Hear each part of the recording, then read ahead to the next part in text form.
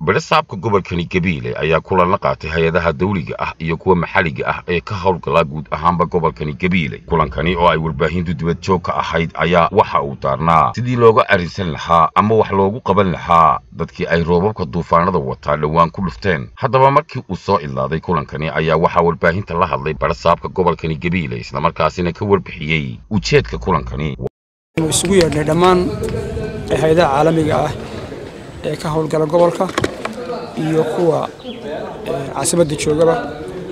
Runtii qaar badan waana soo ajiibeen.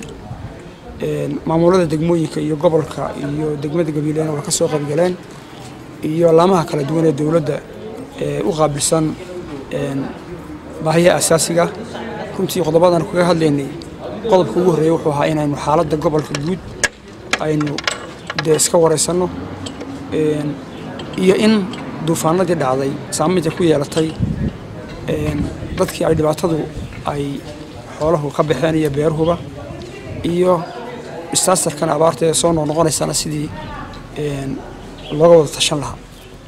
Runtii hay'adahaasi si wacan oo ay noo soo ajiibeen shirkaasina maanta waxaanu qaybta hore isla qaadannay in intii hay'adaha qaadi karaysay oo naga kofargarayn karaysay dadkaa xooluhu ka baxeen iyo beeruhuba ay naga kofargareeyeen inta hadhena ay noo ballan qaadeen in ay iskula noqon doonaan maamulkoodii iyo mas'uuliyiintoodii ka sarraysay hay'adaha. Runtii shirkaasi maanta bilow buunu ahaa. Waanu soconayaa ilaa isniinta hadduu ilaahay ka dhigo.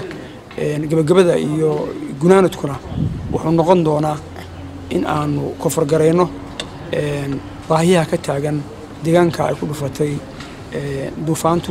Waxaa noo furmay kulan howleed gobolka iyo hay'adaha caalamigaah kulankaasi oo ku saabsanaa ka soo kabashada duufaantii asiibtay gobolka. Arrinkaasi waxaanu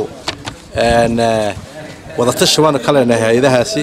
Waxaana la doonayaa in dadkii ay ku dhacday nasiibadaas wax lagu taro kolley waxaana ka soo bixi doona go'aano dhaxalgala oo wax u tari doona bulshadii u baahnayd caawimada iyo in loo gurmado ahayd.